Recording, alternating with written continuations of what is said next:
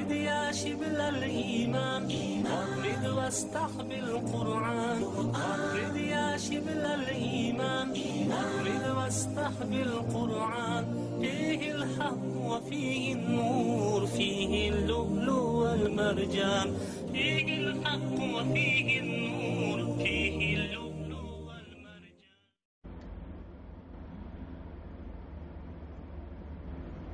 أعوذ بالله من الشيطان الرجيم.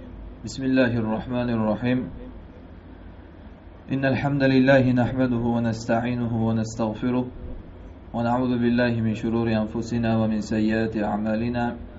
إنه من يهده الله فلا مضل له ومن يضلل فلا هادي له. ونشهد أن لا إله إلا الله وحده لا شريك له. ونشهد أن محمدا عبده ورسوله صلى الله عليه وعلى آله وصحابته. ومن اهتدى بهديه إلى يوم الدين ثم أما بعد قال تعالى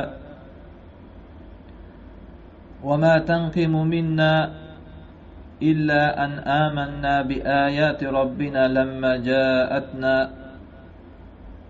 ربنا أفرغ علينا صبرا وتوفنا مسلمين. Bu so'zlarni bayram Musa alayhissalomga iymon keltirgan Fir'avn sehrgarlari Fir'avnning qarshisida turib aytgan edi. Bu so'zlarning ma'nosi shuki, Fir'avnga qarab aytishyapti sehrgarlar iymon keltirib, sen bizdan intiqom olayotganligingning sababi, sen bizni jazolashligingning sababi biz Robbimizning oyatlari kelgan paytda iymon keltirdik. Biz Robbimizning oyatlari bizga yetgan paytda iymon keltirdik. Sen bizdan intiqom olayotganligingning sababi mana shu dedilar. So'ngra Allohga duo qildilar. Robbana afriq alayna sabra ey Robbimiz bizning ustimizdan sabrni yog'dirgin va tawaffana muslimin va bizni musulmon qilib vafot ettirgin dedilar. Haqiqatda shunday bo'ldi. Bugun 1438-hijriy yilning 9-zulhijjasida, ya'ni muborak bayram Arafa kunida turibmiz. Alloh subhanahu va taoloning taqdiri bilan bundan bir yil avval ham mana shu minbarda turib Allohning kitobini Rasululloh sollallohu alayhi vasallamning sunnatini yetkazar edik. Alloh tavfiq berib bir yil bo'libdiki, mana shu amalda Alloh o'zining qudrati bilan bardavom qildi. Bo'lmasam biz go'yoki bir vahshiy hayvonlarga to'la bo'lgan o'rmon ichida yashayotgan odamdekmiz hozir. Atrofimizdagi holatga qarasak, to'la vahshiy yirtqich hayvon. Biz aslida o'zimizga qo'yib berilsa, o'zimizning kuchimizga, o'zimizning toqatimiz, o'zimizning tadbirimizga havola qilsa Alloh bu vahshiy hayvonga to'la bo'lgan o'rmon ichidagi bir chumoli degan emasmiz ya'ni. Kuch qudrat bilan o'lchansak va bu yerda qilinayotgan ishlar, amallar bilan agar biz bu o'rmon ichida yashayotganligimizni taqqoslab ko'rsak, aniq bo'ladiki, Alloh subhanahu va taoloning tavfiqidan boshqa narsa emas bu. Alloh taoloning o'zini hifzi, Allohning o'zini qudrati, Allohning o'zini tadbiri bilangina bu ish mana bir yildan beri davom etyapti ekan. Ham qisqa muddat, lekin ham uzun muddat. Alloh shu muddat ichida bizga amal qilishga, o'zini dinini tarqatishlikka tavfiq bergan ekan, albatta buni shukronasi lozim bo'ladi. Biz sezmayapmiz, vaqt o'tyapti. Lekin albatta buni shukronasi lozim bo'ladi. Shukronasiki bugungi mana shu kunda bu dars shuning uchun ham tavfiq berganligiga shukrona qilib tavhid darsi bo'ladi. Buruj surasining tafsiridan ikkinchi qismi bu tavhid masalasini bayon qiladi. Demak, Alloh tavfiq berib bizga amal qilishga imkon bergan ekan, uning muqobilida biz ollohni tavhidini odamlarga tarqatishimiz lozim bo'ladi. chunki bizni bor yo'q qurolimiz mana shu. Mana bayram kunlarida qarasangiz dushman tishidan tirnog'igacha qurollanadi. Bo'lmasam bayram kuni. Tishidan tirnog'igacha qurollanadi dushmanlar. Har qanday kelayotgan xatarni oldini olishadi. Bizning ham qo'limizdagi qurolimiz bu tavhid bo'ladi qur'on va sunnat. Agar shundan bayramidi debmi yoki motamidi debmi ajralib qoladigan bo'lsak biz qurollangan odamlarni oldida hech qanday imkoniyatsiz bo'lib qolamiz. Qurollangan dushman oldida yalang'och odamdek bo'lib qolamiz. Qo'limizda boshqa hech narsa qolmaydi. Shuning uchun ham insonlarda bugungi kunda bayram edi deb bu tavhidni yoki ilmni yoki ta'limni yoki dinni yoki ma'ruzani to'xtatib qo'yish kimlardir motam edi bugun kayfiyatim yo'q deb to'xtatib qo'yish kimnidir bugun bir mazam yo'q deb to'xtatib qo'yish holatlari uchraydi. Bu odamlar bilsinki bu qurollanayotgan dushman oldida qurolingizni tashlayotgan odamga o'xshab qolasiz. Mana jangda inson yaralangan bo'lsin xursand bo'lsin motam bo'lsin dushman qarshisida qurollanganini ko'rsa albatta qo'lidan qurolini tushirmasdan bir lahza ham xayolini boshqa narsaga burmasdan o'tiradi. Biz musulmonlarni qur'onimiz bu tavhid qur'on va sunnat shuning uchun bayrammi motammi biz bundan to'xtamaymiz. Bunda bizning ergashadigan burchlarimiz ya'ni samodagi yorqin yulduz singari bo'lgan o'tmishimizdagi ajdodlarimiz bor. Mana biz shu mavzuni boshlagan oyat fir'avn sehrgarlari iymon keltirib fir'avnga haq kalimani tavhid kalimasini fir'avn qarshisida turib aytgan payt bayram kuni edi. Olloh qur'onda hikoya qiladi. Fir'avn muso alayhissalomga aytdi. Qola yawmuz va'dalashilgan kun ziynat kuni dedi. Fir'avn aytdiki bayramda hamma to'da bo'lsin dedi. Mana qarang kofirlar fir'avnlar bayramda ham o'zini ishidan to'xtamayapti. Biz ham xuddi shunaqa bo'lishimiz kerak. Fir'avn aytdi bayram kuni hamma to'da bo'lsin dedi. Haqiqatda bayram kuni hamma to'da bo'ldi. Sehrgarlardan fir'avn sehr ko'rsatishlikda kutib turgan paytda ular to'satdan iymon keltirib yubordi ana shunda ularni fir'avn tahdid qilib aytdiki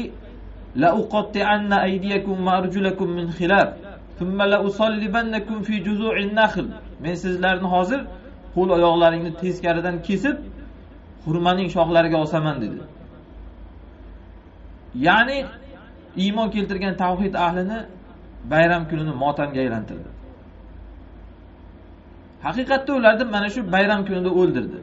Lekin shu kun mana shu kunda tavhidni aytishlikdan bu sehrgarlar to'xtab turmadi. Bugun bayram bayram o'tsin ertaga aytarmiz fir'avnga degan gap bo'lmadi. O'sha kunda ular yuqoridagi oyatda aytishdi. Illa an amanna robbina lamma jaatna. Sen bizdan intiqom olayotgan qasos olayotganligingning sababi biz senga ya'ni biror yomonlik qilmadik. Faqat robbimizni oyatlari kelganda biz iymon keltirdik. Shuning uchun sen bizdan jazolayapsan dedi. Demak bayram kunida ham robbimizni oyati kelsa biz mana iymon keltirib amal qilamiz. Motam kunida ham. Va ollohdan so'raymiz robbana afriq alayna sabro ustimizdan sabrni yog'dirgin. Va tavaffana muslimin va musulmon holatda o'ldirgin bizni. Chunki dushman yomon. Ko'rib turibmiz qancha insonlar buning qarshisida bayram edi motam edi yaxshi kun edi yomon kun edi vaziyat edi yomon edi degan gaplar bilan dushmanning qarshisida dindan qaytib ketyapti. Musulmon bo'lmasdan o'lyapti.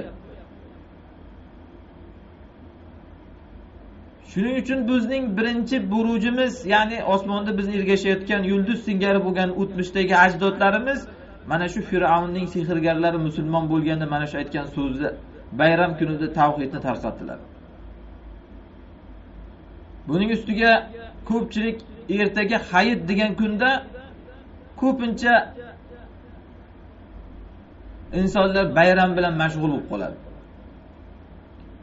Hamma hayitga tayyorgarlik deb kimdir bozorga ketadi kiyim kechak olgani kimdir boshqa narsa qiladi. Hamma g'aflatda qoladigan kun hayitdan bir kun oldingi kun insonlar g'aflatda qoladigan kun. Ibodatdan chalg'iydigan kun. Ollohni hikmati shunaqaki hamma ibodatdan chalg'ib bir nimalar bilan ovora bo'lib yurgan kunda ibodat qilganlik ajrini buyuklab beradi. Hamma nima bilandir ovora bo'lib yurganda ibodat qilganni ajrini buyuklab beradi rasululloh sollallohu alayhi vasallam aytadilar al ibadatu fil fitna kal hijratu ilayya. Fitna vaqtida ibodat qilish menga hijrat qilish ajriga teng deganlar ya'ni fitna vaqtida ibodat qilishlikdan ma'no odamlar nima bilandir chalg'ib turgan payt. Ertaga hayit deganda odamlar hamma nima bilandir ovora bo'lib turadi. Ana shu paytda ibodat qilishlikni fitna vaqtida ibodat qilishlikka qiyoslasak bo'ladi. Bir misol bu faqat hadisni ma'nosi shunga cheklamayapman bir misol fitna degani har qanday insonni ibodatdan chalg'itadigan narsa. Ana shu paytda ibodat bilan mashg'ul bo'lish rasululloh sollallohu alayhi vasallamga hijrat qilish ajriga teng. Ya'ni rasululloh hayotligida madinaga hijrat qilgan sahobalar ajriga teng. Shuning uchun ham bugun biz bu darsni to'xtatmadik va bunda bizning yana bir o'tmishimizdagi ergashadigan eng avlo zotimiz rasululloh sollallohu alayhi vasallam. Rasululloh sollallohu alayhi vasallam umrlarining oxirida haj qildilar. Haj qilganlarida yuz minglab insonlar to'da bo'ldi. Mana shu haj qilganlarida shu kunlarda arafa kunida turib rasululloh sollallohu alayhi vasallam xutba qildilar. Odamlarni jamlanglar dedilar. Xutba qilamiz. Ertaga hayit degan kun bizni bu xutbadan to'sib qolmaydi.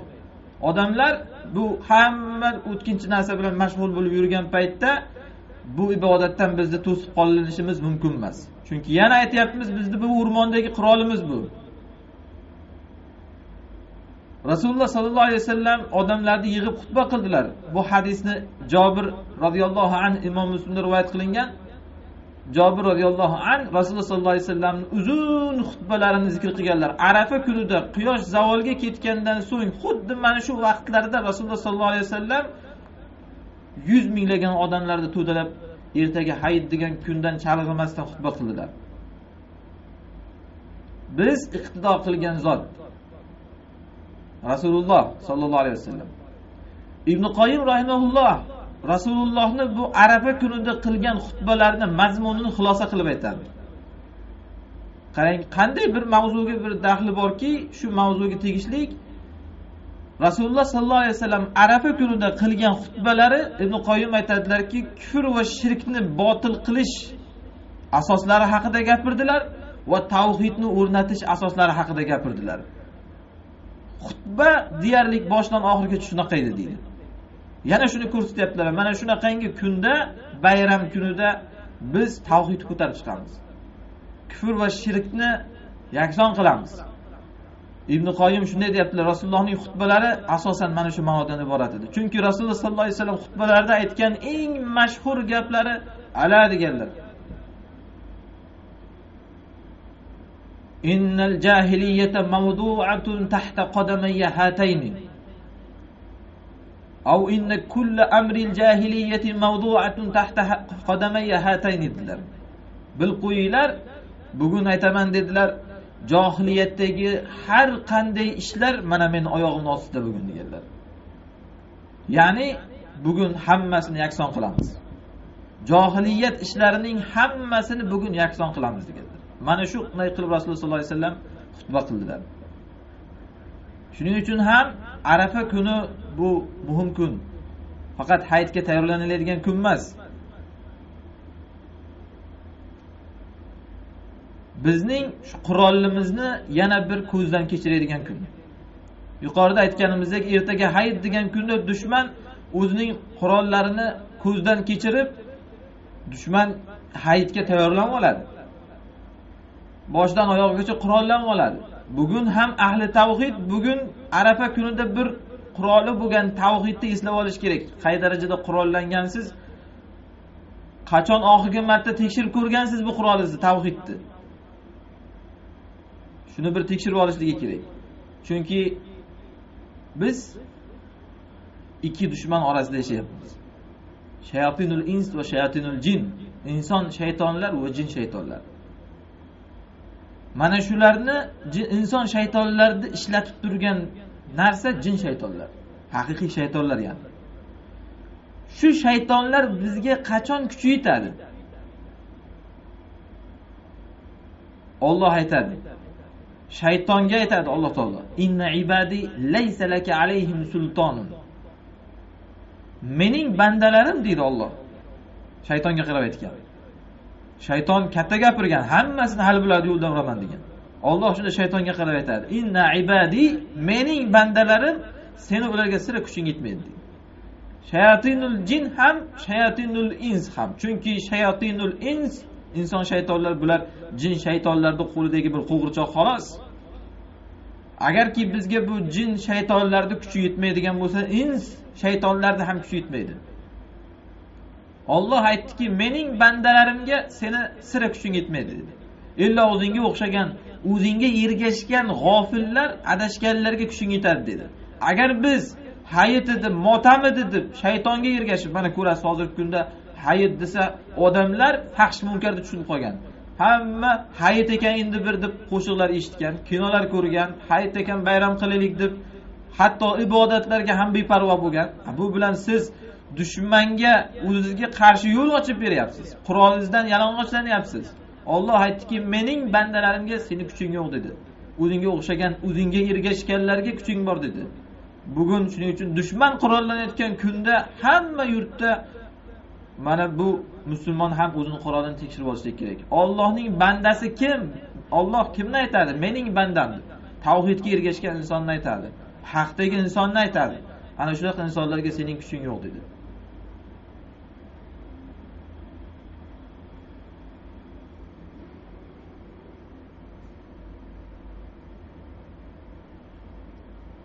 Xosatan shuning uchun ham bugungi kunda rasululloh sollallohu alayhi vasallam aytganlaridek johiliyat ishlari oyoq osti qilinadigan kun bo'lsa biz johiliyat ishlari kufr shirk masalalari haqida va mo'minlarga ozor berayotgan kofirlarning ahvoli haqida gapiramiz. Chunki buruj surasi aslida biz buruj surasini tafsir qilyapmiz. Aynan shu masalalarni yoritadi. Ollohni tavfiqi bilan bu shu dars ana shu kunga shu mavzuga to'g'ri keldi. O'tgan darsda biz uhdud qissasini o'qidik. Mo'minlarni tiriklay yoqib yuborgan insonlar qissasini. Va bunda shu zolim podshohni oldida turib haqda aytgan g'ulom qissasi hadisi bilan haqda aytgan yigit hadisi bilan shu mavzuni yakunlagandik. Shu mavzudan uhdud surasidan ya'ni buruj surasidan to'xtagan oyatimiz ollohni so'zi edi hamid.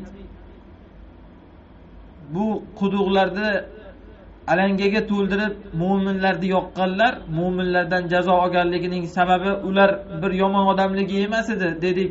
Ular aziz al hamid bo'lgan ollohga iymon keltirganlari uchun ulardan qasos olishgan. Aynan shunga o'xshagan mavzu bilan biz yana oyat bilan mavzuni boshladik. Oyatlarni bir biriga o'xshashligini qarang. Olloh xabar qilyaptiki mana fir'avn sehrgarlarni o'ldirib jazolaganligining sababi xuddi shu edi tavhid edi. Ashobul uhdud ham mo'minlarni quduqqa solib yoqqanligining sababi ham xuddi shu edi tavhid edi. Olloh aytyapti mana ashobil uhdud mo'minlarga jazo berganligining sababi ular azizul hamid bo'lgan ollohga iymon keltirganligining sababi edi. Shuning uchun biz bugungi kundagi bir johiliyat aqidasini barbod qilmoqchimiz. Odamlarda umri faqat shu televizor ko'rish bilan haqiqatni izlamaslik bilan o'tayotgan odamlardagi botil johilona aqidani bayon qilmoqchimizki bugun mo'minlarga bo'layotgan ozorni sababini insonlar o'shalarni o'zini bo'yniga to'nkashligi. Hozirgi kunda masalan kuni kechagina uch mingga yaqin musulmonni buziylar butparastlar yoqib yubordi o'ldirdi. Uch mingga yaqin musulmon. Yoki iroqda bo'layotgan bombardimon yoki suriyada yoki har qanaqangi joyda bo'layotgan shunaqangi vayronagarchiliklarni eshitib faqat umri televizor ko'rish bilan o'tayotgan johillar johilona fikrlash miyasiga o'rnashib qolgan odamlar bir gap gapirayotganligini eshitasiz. Chunki shu tog'ut hukumat ularga shuni singdirib yuborgan. O'zi bir balosi borda shuning uchun ham shunaqangi boshiga baloni yog'diryapti deydi. Ya'ni balosi borda deb ularni xuddiki terroristlarni o'ldiryapti degandek qilib gapiradi. Olloh xabar qilyaptiki qadimdan bugungi kundagi voqeagina emas bu iroq yoki suriya yoki afg'oniston yoki berma yoki bu boshqa davlatlarda bo'layotgangina ish emas bu. Qadimdan fir'avn zamonidami yoki undan so'ng ashobul uhdudmi qaysi joyda bo'lsa ham mo'mindan intiqom olinayotganligining sababi soqoli borligi emas. Mana bularni qaragin hammasi soqollilar. Shuning uchun bularni shunaqa qilyapti degan johilona aqida barbod qilinadi bugun. Yoki o'rab yurgan hijob emas. Yoki qo'lida ko'tarib yurgan qurol emas yoki gapirayotgan gap emas qilayotgan da'vat emas. Hammasining sababi azizul hamid ollohga iymon keltirdim degan sabab. Shuning uchun bunaqangi johilona aqidani yig'ishtirish kerak. Odamlardaki odamlar mana yuribmizku degan odamlar tavhidni iymonni tark qilish evaziga yuribdi. Yoki shunaqangi bir joyda balo kelsa odamlar hozir birinchi o'rinda soqol qo'ygan odamlarni ko'rsatadi. Mana shu soqolliklar sabab shunday bo'ldi deydi. Yoki bir joyda tazyiq boshlansa hijoblilarni ko'rsatadi. Mana shu hijoblilar sabab shunday bo'ldi deydi. Odamlar o'zimizda mo'min musulmonman degan xalq avom xalq shunaqa fikrlaydi. Yoki bir joyda mujohid sabab shunaqangi bo'ldi deydi. Ana shu jihodchilar kirdi shuning uchun shunaqa bo'ldi deydi. Hozirgi kunda xuddi shunaqa deyishyapti. Iroq tuppa tuzuk yurt edi shular kirdi barbod bo'ldi. Suriya tuppa tuzuk joy edi ana shular kirdi barbod bo'ldi. Hatto hozirgi kunda birma va shunga o'xshagan davlatlarda bo'layotgan qatlovlarni ham sababini odamlar shunaqa deyapti. Bitta ikkita terroristlar qurol ko'tarib kirdi shuning uchun ham mana shu uch mingga to'rt mingga yaqin musulmonni o'ldiryapti endi deb ana shu baloni soqol qo'ygan yoki hijob o'ragan yoki qo'liga qurol olgan yoki da'vat qilgan insonlarni bo'yniga to'nkashyapti yoki hozirgi kunda ham qaysiki bir yurtda tazyiq boshlansa odamlar birinchi bo'lib qo'lini bigiz qilib ko'rsatadigan sen har baloni gapirding shundan so'ng mana shunaqangi balolar kela boshladi deydi. Olloh aytyaptiki shu aqidani singdiringlar qadimdan shunday. Soqollik ham bunga aybdor emas qo'liga qurol ko'targan ham aybdor emas da'vat qilgan ham aybdor emas iymon keltirganlik masala shunda. Mo'minmisiz go'yoki shu nomni o'zi sizga shu terrorist degan nomni tamg'ani bosadi. Endi shuning uchun birovni ayblashlikka hojat yo'q. Hamma oyatlarda olloh shuni ta'kidlaydi. Uhdud egalarini nimani qarang? Quduq kavlab tiriklayin ayol erkak bolalarni yoqib yuborgan paytda ularni qo'lida qanaqa qurol bor ediki terrorist desak hattoki bu uhdud egalarini iymonga kirishga sabab bo'lgan g'ulom o'zining o'qidan o'sha podshohga tutqazdiku. Mana shuni otib bismillah desang meni o'ldirasan dedi bu qanaqangi terroristlik ya'ni qo'poruvchilik? Bizda avom xalq haligacha shu ko'zni ochmayapti. Televizorda nima desa shuni ishonib mana qarang u hudud ashoblariga shunaqangi jazo qo'llangan paytda qanaqa terroristlik edi? Va bugungi kundagi holatlar ham xuddi shunaqa.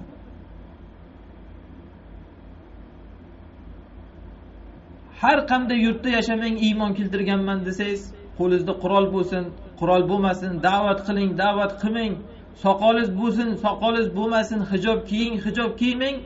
Mo'minman dedingizmi? Olloh mana shu tamg'ani musulmon insonga berib qo'ygan mana. Kofir inson undan intiqom olish paydo bo'ladi. Robbim aziz robbim maqtovlik dedingizmi? Tamom shu tamg'a buzg'unchi degan tamg'a musulmonni ustiga bosilinadi va shundan jazo olish boshlanadi. Fir'avn sehrgarlari. Fir'avn oldida turib robbimizning oyatlari kelgach biz iymon keltirdik deganda ular qanaqa buzg'unchi edi? Ularni qo'lida qanaqa qurol bor edi? Fir'avn ularni qo'l oyog'ini teskaridan kesib yog'ochga osaydigan darajada nima jinoyat qilgandi? Mana shuning uchun ham bu aqidani to'g'irlash kerak. Mo'minga kelayotgan musibat shu mo'minman dedimi keladi. Buning tasdig'ini biz voqelikka qaraymiz. Hozir kimlardir soqol qo'yma soqol qo'ysang shunaqangi balo kelyapti. Da'vat qilma gapirma gapirsang shunaqa balo kelyapti. Jihod qilma jihod qilsang shunaqa vayronachilik kelyapti deyotgan odamlar. Yer yuziga qarang ko'zni kattaroq ochib. Yer yuzida nasroniylarni popi ham yahudiylarni olimlari ham soqol qo'yib yuribdi. Ularga bu balo kelganligi yo'q. Hali yahudiy nasroniyni qo'ying. Soqol qo'ygan boshiga do'ppi kiygan qo'liga tasbeh olib olloh olloh deb zikr qilib yurgan prezidentlar yuribdi yurdi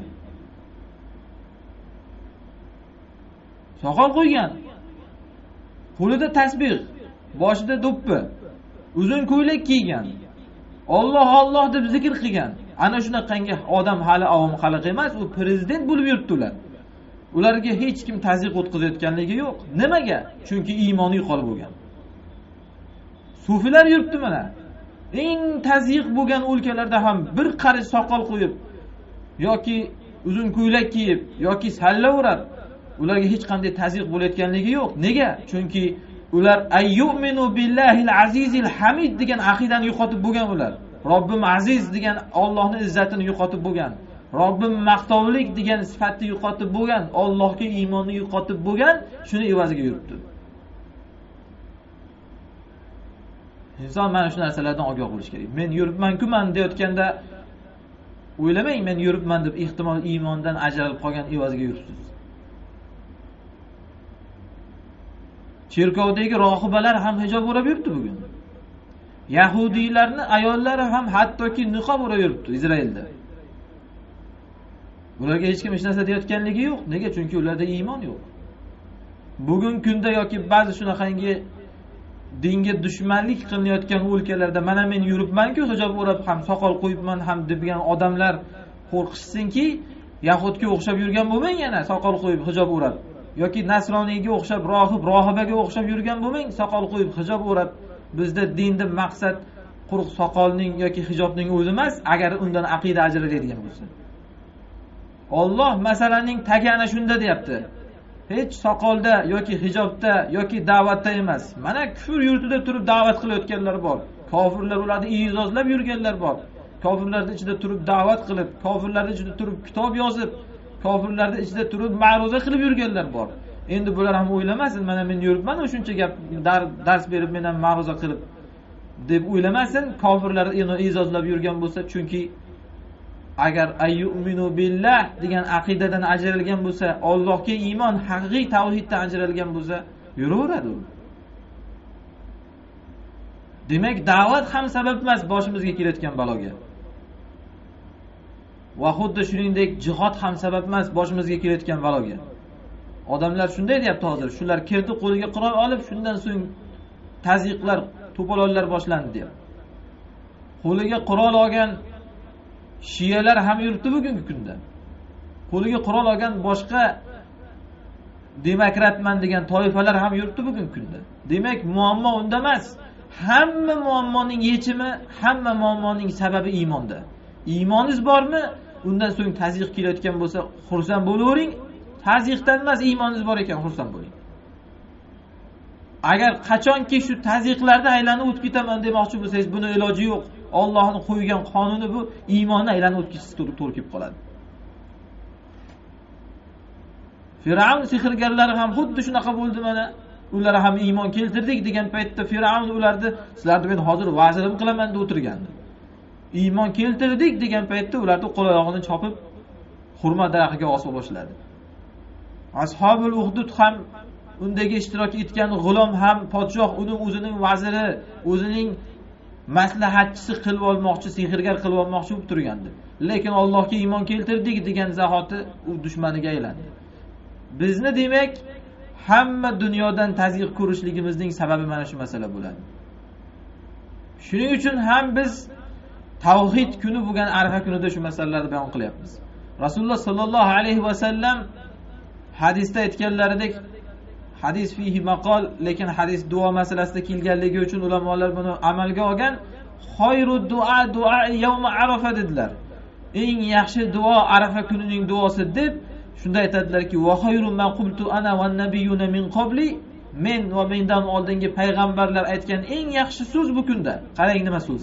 La ilaha illalloh vahdahu la sharikalah lahul mulku va lahul hamd va huva ala kulli shay'in qodir tavhid kalimasi ya'ni. Nega chunki bu kunda tavhid ahlilari tavhidni aytib o'tgan.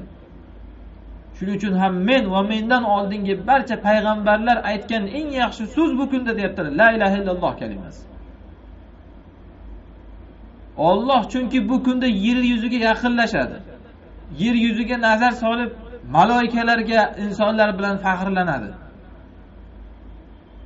Quyosh botgunga qadar ajab emaski olloh mana shu kunda insonni bir ibodat ustida topsa ibodatning eng afzali bo'lgan tavhid ibodatini gapirish yoki shuni eshitish ustida topsa o'shanda olloh maloikalar oldida bu insonlar bilan faxrlansa.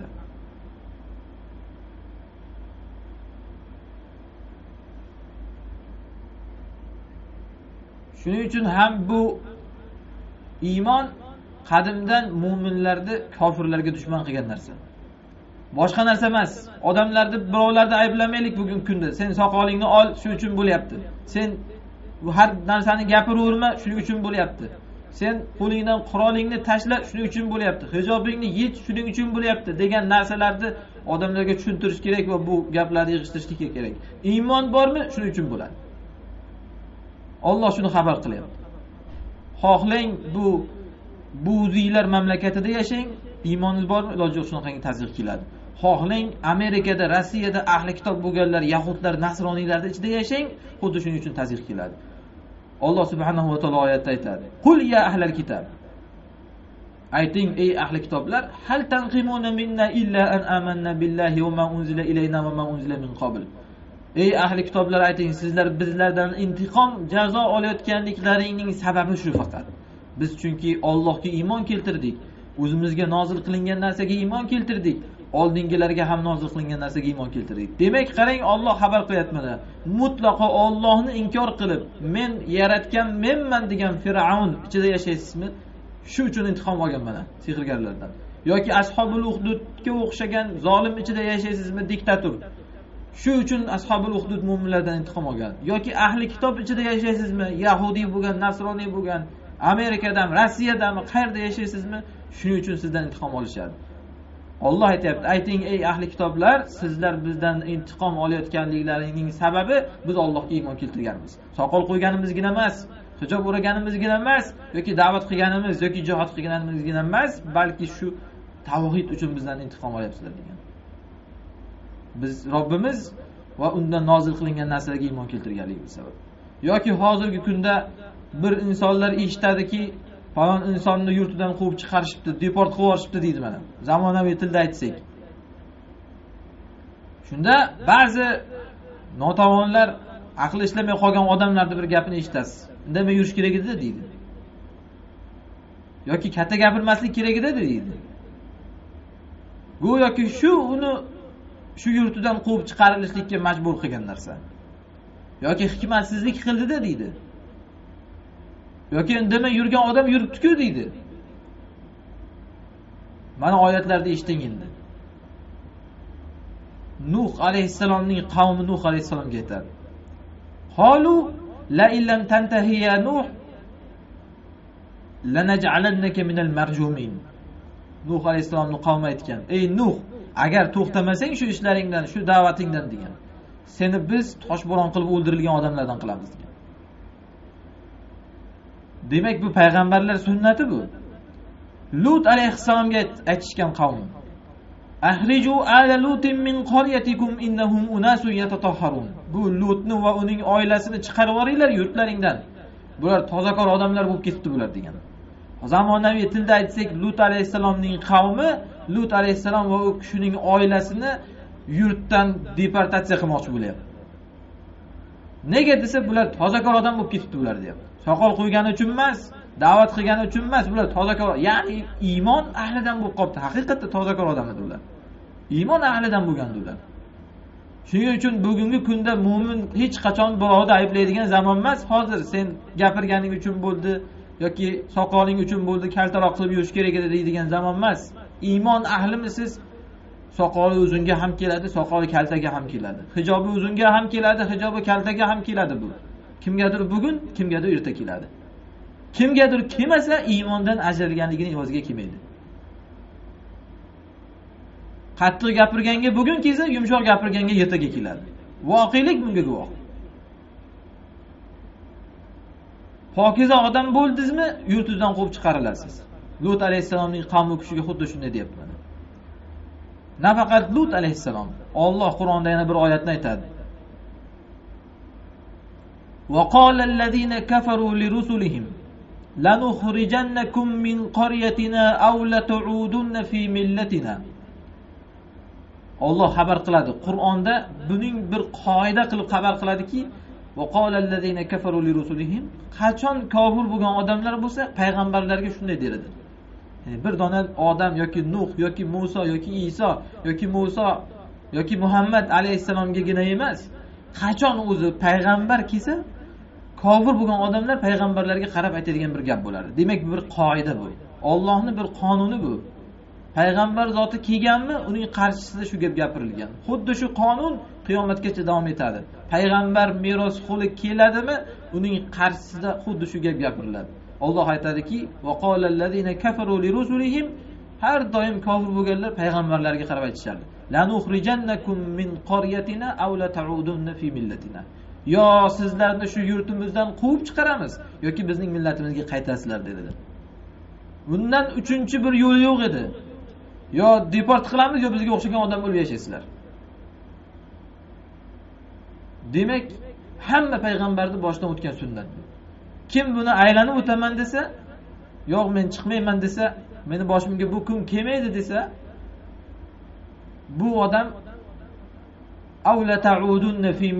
degan toifaga tushib qolgan bo'ladi. Biz ya'ni sizlarni millatlaringga qaytdik bo'ldi. Biz ham sizlarga o'xshagan odamga aylandik deyish evaziga shu holatga tushib qoladi. Shuning uchun mo'min odam bunda iymonni mustahkamlab shu narsaga har doim tayyor bo'lishi kerakki bizga atalgan narsa bu. Hamma payg'ambarlarga atalgan narsa bu. Sayyidi valada odam odam bolasining sayyidi rasululloh sollallohu alayhi vasallamga olloh qur'onda aytdiki وَإِذْ يَمْكُرُ بِكَ الَّذِينَ كَفَرُوا لِيُخْرِجُوكَ أَوْ يُثْبِتُوكَ أَوْ يَقْتُلُوكَ eslang kofir bo'lganlar sizga ham hatto makr qilardi sizni ushlab qolib qolmaymizmi yoki chiqarib yuboramizmi yoki o'ldiramizmi rasululloh sollallohu alayhi vasallam ham chiqarib oldilar va rasululloh sollallohu alayhi vasallamga birinchi vahiy kelgan payt hadicha onamiz rasululloh sollallohu alayhi vasallamni qo'lidan yetaklab varaqat navfal oldiga olib bordi imom buxoriy sahiylarda rivoyat qiladi bu hadisni. Shu varaqat ibn navfal rasululloh sollallohu alayhi vasallamga aytgan birinchi gap bor edi. Bu bir qonun. Iymon ahli bir qonun bilib olishi kerak bo'lgan qonun. Varaqat ibn navfal rasululloh sollallohu alayhi vasallamga qarab aytdiki ya laytani kuntu hayyan aw jazaan hina yukhrijuka qawmuk qani edi men? Bir yosh yigit bo'lsam hayot bo'lsamki seni qavming quraysh seni quvib chiqarayotganda dedi. Varaqat ibn navfal tavhiddagi aqidasi sog'lom odamni bildiki bu payg'ambarlar sunnati va ularga ergashganlar sunnati. Shu sunnat qiyomatgacha davom etadi mana. Shuning uchun rasululloh sollallohu alayhi vasallamga aytyaptiki hali seni qavming yurtingdan quvib chiqarayotganda qariydi men bir yosh yigit bo'lsamda seni bir yordam bersam. Rasululloh sollallohu alayhi vasallam ajablanib shunda deganlar. Hali ular meni quvib chiqaradimi? Chunki tasavvur qilib bo'lmas narsa edi. Rasulullohni makka ahli hammasi hurmat qilardi rasululloh sollallohu alayhi vasallam shuning uchun tasavvur qilolmadilar. Meni hali shu odamlar quvib chiqaradimi makkadan? Demak rasululloh sollallohu alayhi vasallamni quvib chiqargan narsa tavhid edi iymon edi. Vahiy kelgach haqiqatni quvib chiqardi. Varaqatimni navfal aytdiki bir qoidani ما جاء أحد بمثل ما جئت به إلا عودي sen keltirgan bu narsani kim keltirsin albatta dushmanlik qilinadi dedi shuning uchun aynan shu ma'noni olloh ta'kidlab mo'minlarga aqida beryapti qachonki mo'mindan kofir intiqom olgan bo'lsa azizul hamidga iymon keltirgan sababdan boshqa joydan birovga to'nkamanglar sen sabab bo'lding shu balolarga Sen sabab bo'lding shu musibatlarga deb. Iymoningiz bormi iloji yo'q shu musibat keladi. Shuni tushunsak bugungi kunda ancha ixtiloflar yechilib ketadi. Mana hozir gapiramiz da'vat qilamiz. Shundan so'ng odamlar agar bir balo kelsa bizni bo'ynimizga oldiradi mahzuvani ana shu gaplaring sabab bo'ldi deydi. Iymoning bor ekan alhamdulillah degan shu sabab bo'ldi. Agar shu bo'lmasa iymoning yo'q ekan demak. Qonun budir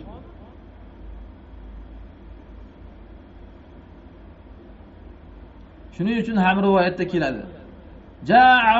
Ila nabiy sollallohu alayhi vasallam. Faqala ila ma tad'u ya muhammad alayhissalotu vassalam bir arobiy kelib rasululloh sollallohu alayhi vasallamga aytdiki ey muhammad nimaga da'vat qilyapsiz? dedi. Siz nimaga chaqiryapsiz? Rasululloh sollallohu alayhi vasallam aytdilarki adu ila shahadati an la ilaha illalloh va anna muhammada rasululloh.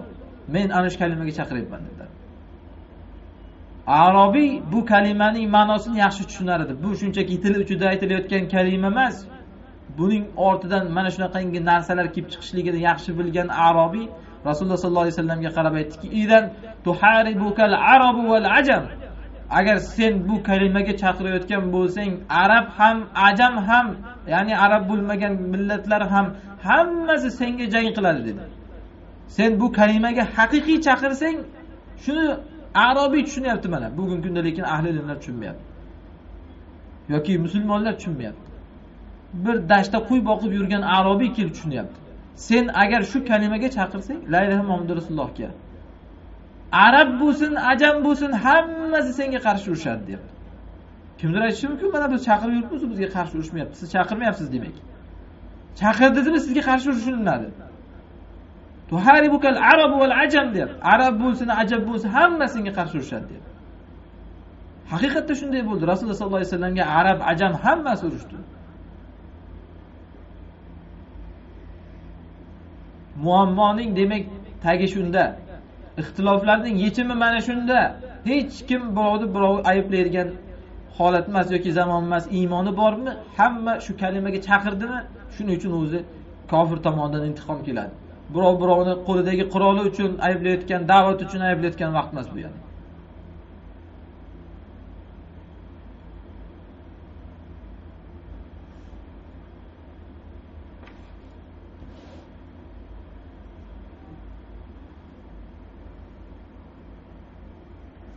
shuning uchun ham mana bu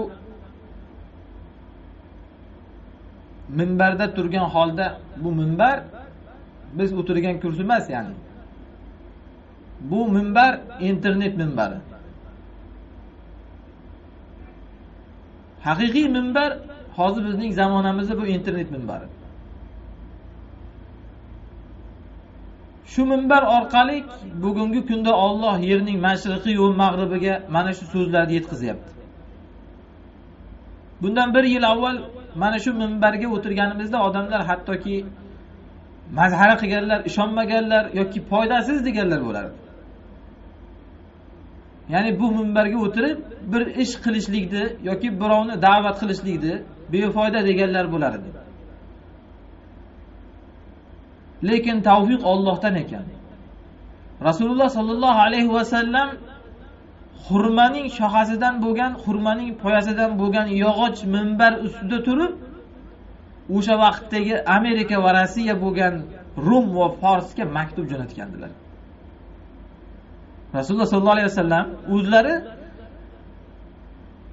qushning uyasidek bir shaharcha madinadan turib o'sha vaqtdagi yer yuzining eng katta mamlakatlari imperiyasi bo'lgan rum va fors bugungi kunda qiyoslaganda amerika va rossiyaga teng bo'lgan ikkita katta bir davlat boshliqlariga rasululloh sollallohu alayhi vasallam maktub jo'natdilar. Shu maktublarda rasululloh sollallohu alayhi vasallam ularni tavhidga chaqirgandilar. Shunda ham munofiqlar ustidan kulgandi. Buni holatini qaraganda gapirayotgan gapini qaraganda forsni da'vat qilarmish. Rumni da'vat qilarmish. Misrni da'vat qilarmish podshohini.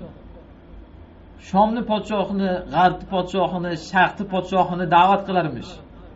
U yerdagi odamlarni islomga chaqirarmish deb munofiqlar rasululloh sollallohu alayhi vasallamni ustidan kulgan va bular iymon keltirarmish buning da'vatiga deb rasululloh sollallohu alayhi vasallamni ustidan kulgandi.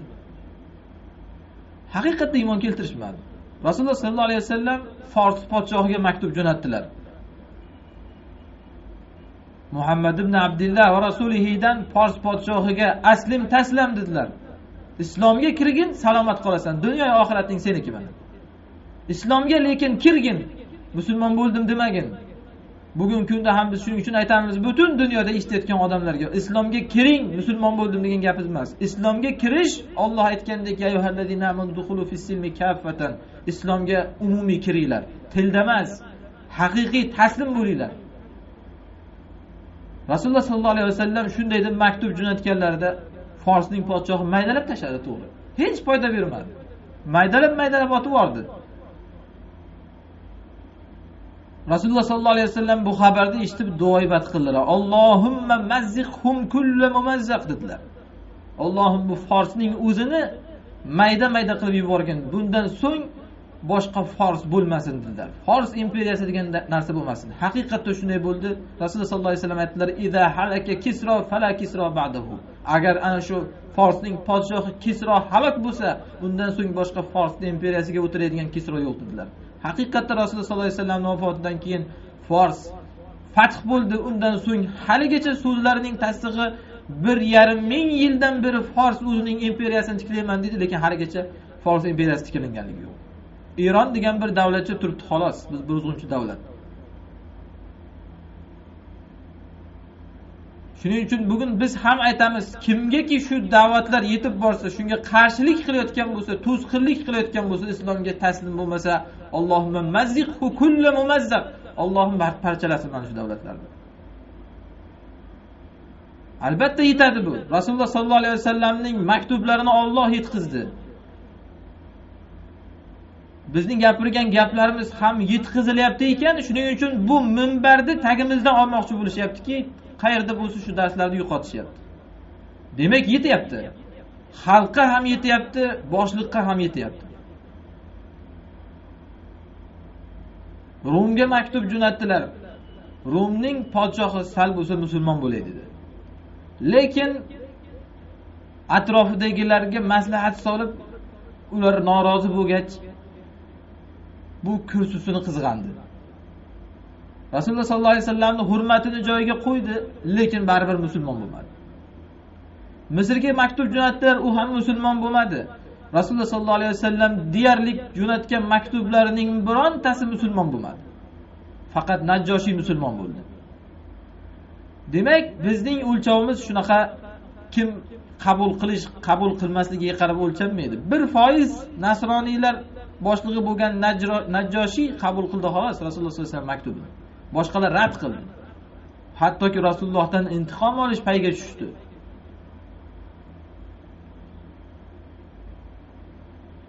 Bugungi kunda men buni gapirayotganligimning sababi faqatgina dars uchun emas balki haqiqatda mahzun ummat odamlar nafaqat bizga balki umuman olganda har qanday da'vat qilib chiqqan odamlarga mana shu nolani qilyapti.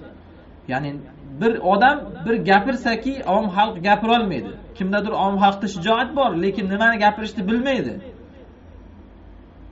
Shuning uchun qancha odamlar so'rab chiqyaptiki shuni gapirilsa musulmonlarga bo'layotgan tazyiqni kimdir gapirsa bu gaplar yetib borsa shundan so'ng qabul qilgan odam qabul qilsa qabul qilmagan odam rasululloh sollallohu alayhi vasallam duoibat qilgandek uning imperiyasini shunday parchalab tashlagin deb duo qilinsa degan nazar bilan ummat qarayapti bugun.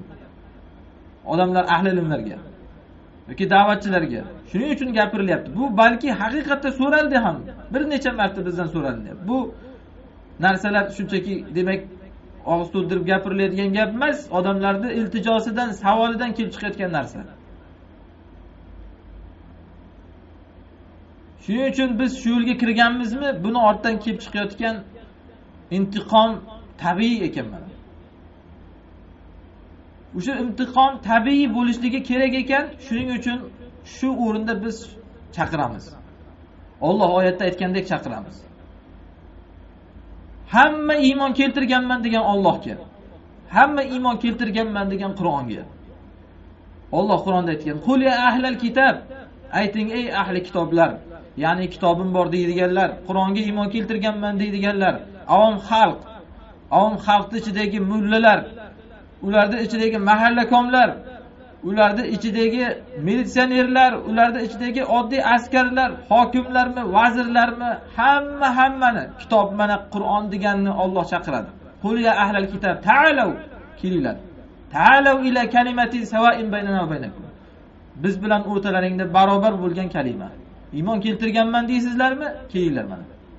Alla nabuda illalloh ollohgagina sig'inamiz. Va la nushrika bihi shay'a. Unga biror narsani sherik qilmaymiz. ولا يتخذ بعضنا بعضا ba'dan من دون الله. Agar va ba'zimiz ba'zimizni Allohni qo'yib rob qilib olmaymiz. Ya'ni birovimiz birovimizga sig'inmaymiz qulchilik qilib. Hokimga ham vazirga ham mullaga ham boshqaga ham hech kimga sig'inmaymiz. Agar bosh tortsalar muslimun. guvoh bo'lib qo'yinglar biz musulmondirmiz ana shu narsaga Alloh aynan shu buruj surasida chaqirib aytadi buruj surasi makkada nozil bo'lgan dedik ya'ni rasululloh sollallohu alayhi vasallam ham bizdan battar qiynalib yurgan joylarda sahobalar bizdan battar taziqlar ko'rib yurgan joylarda nozil bo'lgan shu surada Alloh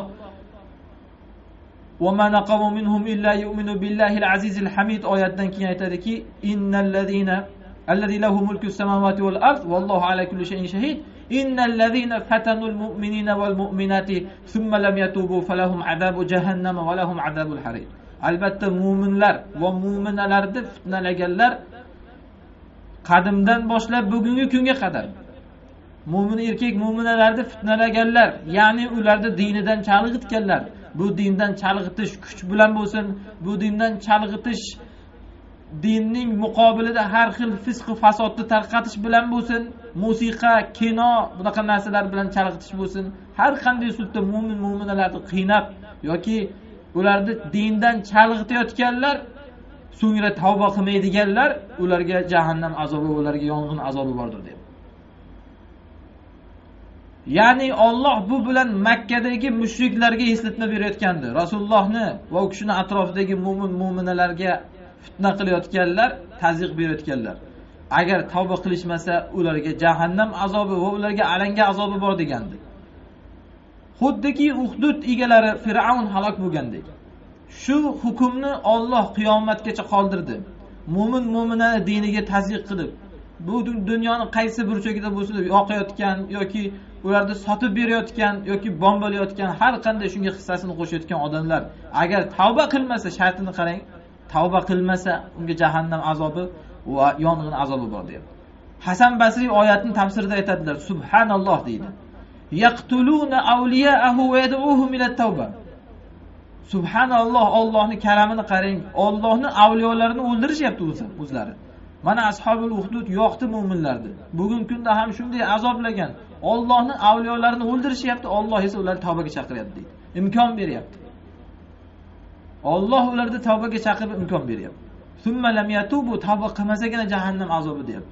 Shuning uchun ham biz aytyapmiz ta'alu baynana va baynakum. Kelinglar mana o'rtamizda teng bo'lgan kalima agarchi ollohni avliyolarini o'ldirgan bo'lsanglar ham tavba qilib islomga kiringlar. Ana shunda ollohni jahannam azobidan va dunyoda ham yong'in azobidan qutulasizlar chunki ulamolar aytishgan bu oyatning tafsirida falahum azabu jahannam fil axira va lahum azabul hariq fid dunya aw fil qabr deyishgan. jahannam azobi oxiratda yong'in azobi bo'lsa dunyoda yoki qabrda degan.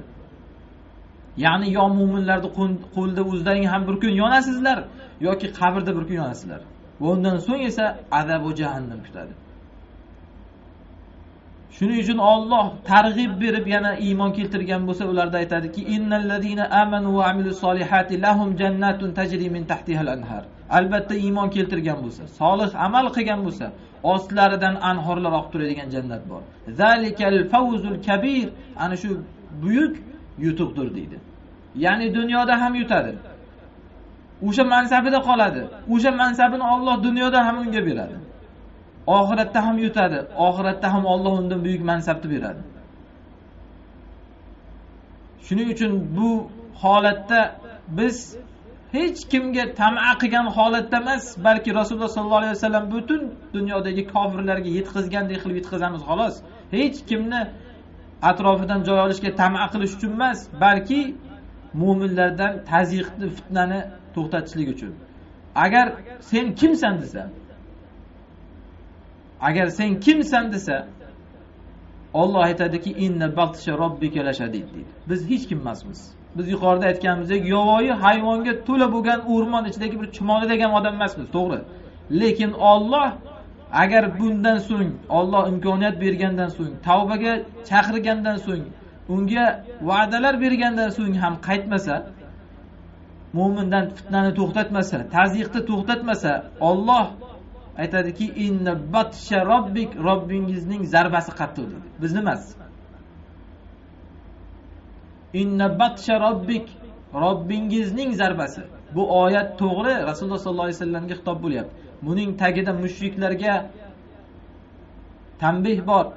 Agar to'xtatmasanglar ko'ringlar rasululloh sollallohu alayhi vasallam haqiqatdan makkada yurganlarida yuqorida aytganimizdek yovvoyi hayvonga to'la bo'lgan o'rmon ichidagi oddiy bir odamdek yurgandilar. Lekin olloh zarbani o'z bo'yniga olyapti. Inna batsha robbik deyapti. Rasulullohni ham zarbasi emas robbisining zarbasi. Qiyomatga qadar xuddi shunday. Agar iymon keltirmasa tavba qilmasa qaytmasa inna batsha robbika lashadid robbingizning zarbasi qattiqdir deyapti. Innahu huva yubdiu va yuid. U zot o'zi avval qanday boshlagan bo'lsa yana xuddi shunday qaytaradi. Ya'ni olloh qadimda qanday fir'avn yaratgan bo'lsa paydo qilib avval boshlab hozirda ham xuddi shunday qilib qaytarib fir'avn yaratadi. Olloh qadimda qanday fir'avn oldida muso alayhissalomni sehrgarlarini turg'izgan bo'lsa hozirda ham olloh xuddi shunday qilib qaytaradi zamonni yana shu muso alayhissalomni va u kishiga ergashgan sehrgarlar va muhammad alayhissalomga ergashganlarni izdoshlarini olloh chiqarib qo'yib ularni oldida gapirtiradi. Innahu huva yubdiu va yuid deyapti. Olloh avval qanday boshlab fir'avn qilgan qanday boshlab muso qilgan bo'lsa qiyomatga qadar ham xuddi shunday fir'avnni qaytaradi. Xuddi shuningdek uni oldida turib muso alayhissalomga o'xshab da'vat qiladigan u kishini izdoshlarini jo'natadi. Ashobul uhdud bo'lgan bo'lsa uni oldida turgan g'ulomlarni chiqargan. Bugungi kunda ham ashobul uhdudlar bo'lsa uni oldida turadigan g'ulomlarni chiqaradi. Innahu huva yubdi va yuid. Agar ollohni zarbasini qattiqligiga ishonmasanglar olloh mana shu oyatda aytyaptiki ko'ringlar mana dunyoni. Olloh necha marta qaytardi shu hodisalarni? Necha marta qaytardi? Qancha fir'avnlar chiqdi? Uning qarshisida qancha da'vatchilar chiqdi? Hammasi bir birini o'ldirdi hammasi ketdi ollohni oldiga. Lekin olloh yana qaytaryapti. Bu tasodifmi? Dunyo yaralgandan boshlab xuddi shu hodisa shunaqa qaytarilyapti. Olloh shuning uchun aytyaptiki ollohni zarbasini ko'rmoqchi bo'lsang bilib qo'ygin innahu huwa yubdiu va yuid. Olloh avval qanday boshlagan yana xuddi shunday qaytaradi. Bu hattoki butun olamda bugun tan olingan qonunki fizikada bir qonunni aytishadi. Energiyani aylanish qonuni deydi. Ya'ni bu qonun butun olamda ishlaydi. Hech narsa yo'qolib ketmaydi. Hamma narsa aylanadi. Olloh shu qonunni qo'yyapti. Butun dunyo aylanayotganda mana suvni qarang olloh dengizlarda suvni tushirib qo'ygan nimaga tugab ketmayapti? Tinimsiz bug'lanib ketyapti to'g'ri lekin yo'qolib ketdimi? Yo'q yana yerga qaytib tushyapti. Olloh endi islomni yo'qotib yuboradimi? Yoki fir'avnlar chiqsa uni oldida qarshi turadiganlarni yo'qotib yuboradimi? Innahu huwa yubdi. O'zi avval boshlab qanday yaratgan bo'lsa nuh alayhissalom zamonidan boshlab qanday paydo qilgan bo'lsa va yuid xuddi shunday qiyomatga qadar qaytaradi. Ollohni karamini qarangki agar shundan keyin yana ta'sir qilib qaytsa aytadiki vahval g'ofurul vadud deydi. Yana qaytsa yana kechiraman deydi. Vadud yana yaxshi ko'raman deydi. Agar shu avliyoni o'ldirgan bo'lsang ham da'vatchini o'ldirgan bo'lsanglar ham bu narsa kimga bo'lsa ham yetib borsin ya'ni har qanday shunaqa narsaga ishtirok etganlar. Oddiy ayg'oqchidan tortib mahallakommi mullami kim bo'lsa ham shunaqangi odamlarni mo'minlarga fitna qilib ularga azob berganlarga yetib boradigan bo'lsa olloh aytyaptiki qaytsin tavba qilsin va g'ofur deyapti. Olloh kechiradi. Vadud yaxshi ko'radi kechiribgina qo'ymaydi. Mo'minlar ham uni yaxshi ko'radi ko'nglida gina qolmaydi. Mana rasululloh sollallohu alayhi vasallamni amakilarini hamzani qornini yorib yuragini yegan hind makkani fathida musulmon musulma bo'lib eri bilan abu sufyon bilan ikkalasi rasululloh sollallohu alayhi vasallamni oldiga kelganda rasululloh sollallohu alayhi vasallam hattoki yuzlarini burishtirib ham qaramadilar ularga. Tamomiy eski qadrdondek kutib ollohni vadudligi mo'minlarda ham shunday vadud qilib qo'yadi. Ya'ni olloh kechirsa mo'minlarda ham o'zi ham o'zi ham mo'minlar ham uni yaxshi ko'radigan qilib qo'yadi. Va huval g'afur al vadud agar shuning uchun qaytsalar o'sha yo'llardan olloh yaxshi ko'rgan insonni biz ham yaxshi ko'ramiz. Jonimiz ularni qarshi joni qarshisida bo'ladi. Molimiz o'shalarni moli bo'ladi. Hamma narsamiz o'rtamizda bo'lishilinadi. Agar shu yo'ldan qaytsalar. Va huval g'afurul vadud deb chunki olloh kechiruvchi olloh yaxshi ko'ruvchi zot. Zul arshil majid deb buyuk arshning egasi bo'lgan zot. Ollohga kerak emas uni jahannamda yondirish. Olloh buyuk zot. Uni qabrda yondirish ham ollohga kerak emas. Dunyoda uni xorlab kursisidan tushirish ham ollohga kerak emas. Zul arshil majid eng katta kursini egasi bo'lgan arshni egasi bo'lgan zot kerak bo'lsa yana shu kursisiga o'tkazib qo'yadi. Rasululloh sollallohu alayhi vasallam abu sufyonga qilgan muomalalaridek makka fath bo'lgan kunda hamma o'yladiki rasululloh kirib birinchi olsa abu sufyonni kallasini olsa kerak. Shuncha to'polonni hammasini boshi abu sufyonni chunki. Rasululloh sollallohu alayhi vasallam makkaga kirib aytdilar man dahola dara abi sufyan fahuva amin. Kim abu sufyonni uyiga kirsa omonda qo'rqmasin deganlar. Johiliyatda katta bo'lgan bo'lsa islomga kirsa uni poyabzal tozalaydigan qilib qo'yilinmaydi. Islomga kirsa yana boshlig'imiz bo'ladi. Chunki zul arshil majid buyuk arshni egasi bo'lgan olloh uni yana o'sha kursisiga o'tkazadi. Faalul lima yurid xohlaganini qilaveradi olloh qo'rqmasin ya'ni. Boshqa tog'utlar boshqa zolimlardan. Faalul lima yurid. Olloh xohlaganini qiladi.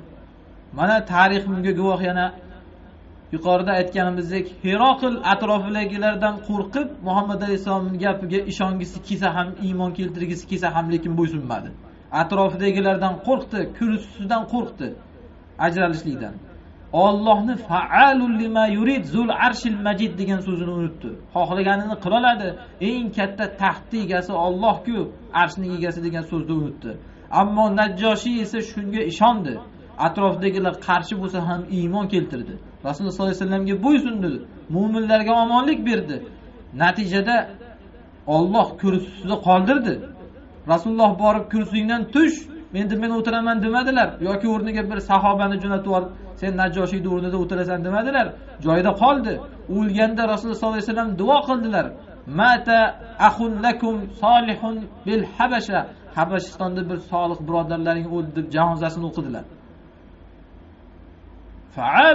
Yurid. Olloh xohlaganini qiladi. Agar yana shaytonga ergashsalar agar shunda ham tavba qilgisi kelmasa holbuki olloh rasululloh sollallohu alayhi vasallam hadisda aytadilar lallohu afroh bi tavbati ahadi abdihi min ahadikum حين يكون بأرض فلات معه راحلته عليه متاعه al-hadis rasululloh sollallohu alayhi vasallam hadisda aytganlar olloh bandasini tavbasidan shunday xursand bo'ladiki kofir bo'lsa ham tavba qilsa shunday xursand bo'ladiki bir odamning xursandligidan qattiq xursand odamni tasavvur qilinglar sahro yerida tuyasi bilan ketayotganda tuyasini ustida ichimligi ovqati bilan ketayotganda tuyasi yo'qolib qolsa qanday g'amga tushadi? Shu tuyasi yo'qolib qolib endi men o'ldim deb bir daraxt tagiga borib yotgan paytda qarasa bir uxlab turib ko'zni oldiga qarasa tuyasi turganligini ko'rsa haligi odamni xursandchiligi qanaqa bo'ladi?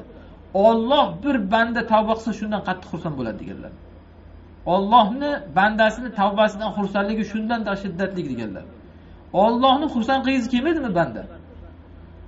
Agar shunda ham inson ollohni qudratiga ishonmasa bo'ysunmasa yoki olloh xohlaganini qila olishligiga ishonmasa olloh aytadiki sendan oldingilarni ham yo'qotgan zot bor. Hal ataka hadisul junud. Senga oldingi lashkarlarning qissalari hadislari kelmadimi deydi. Keldimi deganda uni ostida rasulullohga aytilayotgan bo'lsa ham kofirlarga tanbeh bor. Rasululloh bilardilar fir'avn qissasi nima bo'ldi? Askarlari bilan qo'shib g'arq bo'ldi. Lut alayhissalomni toshbo'ron qilib o'ldiraman degan xalq nima bo'ldi? Askarlari bilan qo'shib toshbo'ron bo'ldi o'zlari. Muso alayhissalomni iso alayhissalomni o'ldiraman deganlar nima bo'ldi? Muhammad alayhissalomni o'ldiramiz yoki qamaymiz yoki quvib chiqaramiz deganlar nima bo'ldi? Olloh aytadiki hal ataka hadisul junud o'sha lashkarlar ham bor edi oldin ham ularning xabarlari sizga kelmadimi? Fir'avna va samud fir'avn va samudlarning xabari. Ya'ni u xabarlar sizlar tasdiqlaysizlarmi yo'qmi? Qur'onda kelgan qur'onni kitob desanglar ko'tarib qasam ichsanglar shuni tasdiqlaysizlarmi yo'qmi? Hal ataka hadisul junud fir'avna va samud? Bizni hozirgi askarlar yoki hozirgi insonlardan kuchli ular? Fir'avn va samud qabilalari. Balillazina kafaru fi takzib. Balki kofir bo'lganlar yolg'onga sho'ng'ib ketgan deydi. Ya'ni olloh shundan keyin ham iymon keltirmaydigan odamlar bo'lishligini bizga aytib tasalli bildiryapti. Shuning uchun biz aytyapmiz iymon keltirish keltirmaslik emas bizni maqsadimiz. Iymon keltirsa yaxshi iymon keltirmasa olloh aytyaptiki undan oldingilari mana iymon keltirmaganlar bor. Balilladina kafaru kofir bo'lib ketganlar fi takzib yolg'onni ichiga sho'ng'ib ketgan. Fi arab tilida zarf deyiladi. Ya'ni idishni ichiga mana suv solinsa al mau fil kub deydi masalan. Ya'ni shu idishni ichiga suv sho'ng'ib ketgan. Xuddi shunday kofirlar ham yolg'on deyish xislati ichiga sho'ng'ib ketgan. Fi takzib. Yolg'on deyish ichiga sho'ng'ib ketgan. Haligi suvni ichiga sho'ng'ib ketgan odamga tashqaridan turib gapirsangiz eshitilmaganidek yolg'on yolg'on deverib shu yolg'onni ichiga sho'ng'ib ketgan odamlarga ham baribir bular ta'sir qilmaydi. Endi shuning uchun biz uni ollohga solamiz. Vallohu min varoihim muhit. Olloh ularni orqasidan qurshab turuvchidir. Bal huva qur'anun majid. Balki bu mana shunday buyuk qur'on. Xohlasanglar ham xohlamasanglar ham. Hammasi ollohni so'zlari mana. Bu buyuk qur'on fi lavhin mahfuz lavhul mahfuzda bitilgan qur'on. Mana shu surani oyat bilan olloh surani yakunladi. Ko'rib turibmizki bu sura bizni haqiqiy burchlarimizni tanitadi. Ya'ni zulmotlarda yo'l topadigan yulduzlarimiz. Shuning uchun ham olloh bu narsani yuqorida oyatda aytganimizdek yubdi va yuid. Yana shunaqangi qissalarni boshlab yana xuddi shu zamonlarni qaytaradi. Olloh bu zamonlarni qaytaradi yana. Shuning uchun olloh fir'avn qissasini yuqoridagi ashobul uhdud qissasi bilan yakunlayapti. Chunki qissalar o'rtasida nihoyatda o'xshashliklar bor. Fir'avn muso alayhissalomni o'zi topib olib o'zi tarbiya qilib katta qilgan bo'lsa ashobul uhduddagi podshoh ham haligi g'ulomni o'zi topib o'zi katta qilib tarbiya qildi. Muso alayhissalom keyin fir'avnga qarshi turib gapirgan bo'lsa ashobul uhduddagi bola ham u podshohga qarshi turib gapirdi. Fir'avn bani isroilni azoblagan bo'lsa ashobul uhdud ham xalqni tiriklay yoqib azobladi. Fir'avn xonadonidagi ayol fir'avnning qizini enagasi tiriklay bolalari bilan qo'shib yoqilgan bo'lsa mana bu ashobul uhdudda ham xuddi shunaqa qissa sodir bo'ldi. Fir'avnni bu qizining enagasini chaqalog'i tilga kirgan bo'lsa ashobi uhdudda ham xuddi shu qissa sodir bo'ldi. Haligi chuqurga tashlanishlikka qo'rqib turgan ayol bolasi tirga kirib onasini haqdasiz chuqurga kiring dedi. Shu qissalar xuddi shunday sodir bo'ldi lekin ikki xil zamonda. Shuni olloh tushuntirishlik uchun bizga ashobil uhdud qissasini fir'avn qissasi bilan yakunlayapti. Fir'avn qissasini esa quraysh bilan yakunlayapti. Ya'ni quraysh halok bo'lishligidan qo'rqsin fir'avn halok bo'lgandek deyapti. Quraysh haqiqatda kofirlari mo'minlari emas albatta. Kofirlari halok bo'ldi. Abu lahablar halok bo'ldi fir'avnul umma. Shu quraysh qanday halok bo'lgan bo'lsa shu qissa qiyomatga qadar davom etadi? Bizni kitobimiz qur'oni majid buyuk kitob. Faqat bu ertak kitob emas bu. Innahu huva yubdi va yuid. Alloh o'zi bu zamonlarda qanday boshlagan bo'lsa yana xuddi shunday qaytaradi. Lavhul mahfuzda shu hodisalar hammasi shundoq bitilgan. Shu qissalar ichida o'xshashlik borligi uchun Alloh ashobul uhdud bilan fir'avn qissasini yakunlayapti.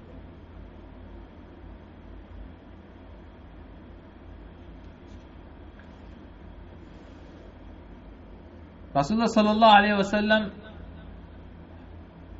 arafa kunida mana shunday qilib odamlarga johiliyat ishlarini oyoq osti qildilar. Ibn qoyim rahimulloh aytganlaridek tavhid ishlarini ustun qildilar. So'ngra xutbalarini oxirida bir gap bilan yakunladilar. Biz ham shu bilan yakunlaymiz. Ala inna dima'akum va amwalakum va a'radakum haromun alaykum ka hurmati yawmikum hadha fi shahrikum hadha fi baladikum hadha.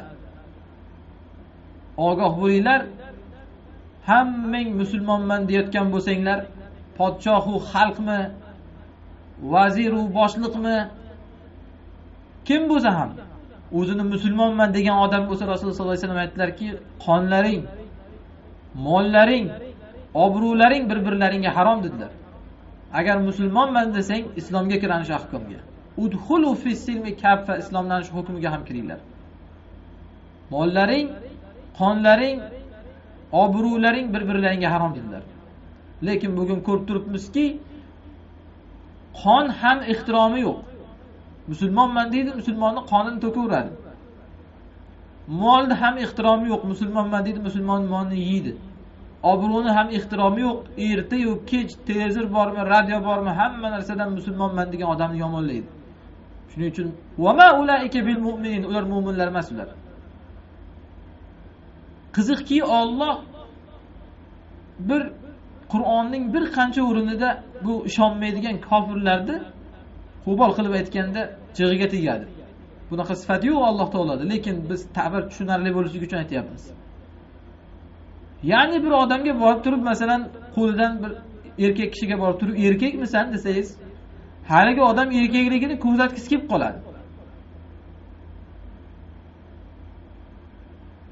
Lekin olloh qur'onda qancha qancha joyida kofirlarga sizlar iymon keltirolmaysizlar baribir.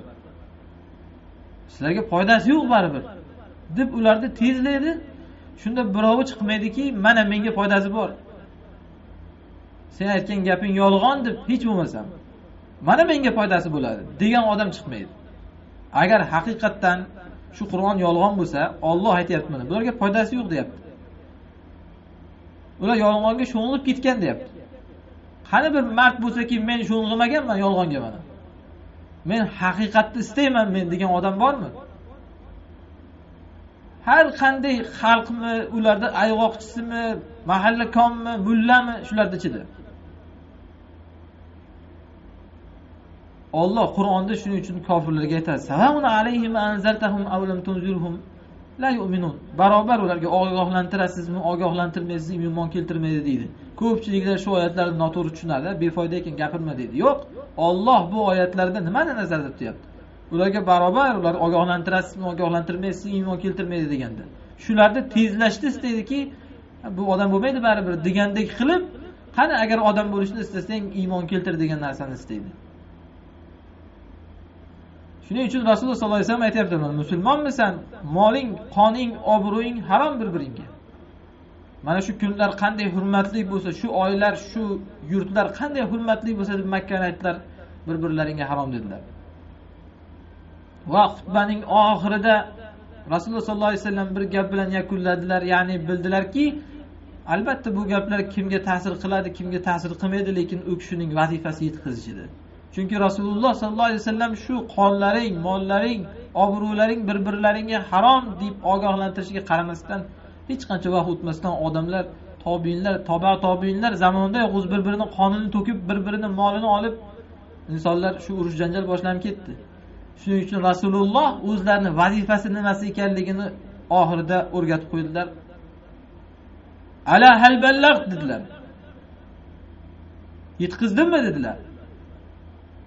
Hamma guvohlik berdi yetkazdingiz deb so'ngra rasululloh sollallohu alayhi vasallam qo'llarini osmonga ishora qildilar. Ollohimma hal ballagt ollohimma fashhad dedilar. Ollohim yetkazdimmi ollohim guvoh bo'lib qo'ygin.